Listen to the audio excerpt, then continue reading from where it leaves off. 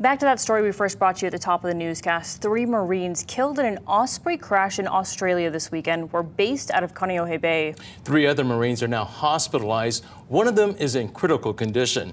ABC's Terry Moran has more on the crash, including newly obtained audio from the moments after the Osprey went down. Two U.S. Osprey MV 22s were on their way to participate in a major multinational training exercise called Predator's Run Sunday morning when one went down over a remote island off Australia's northern coast, the other radioing in.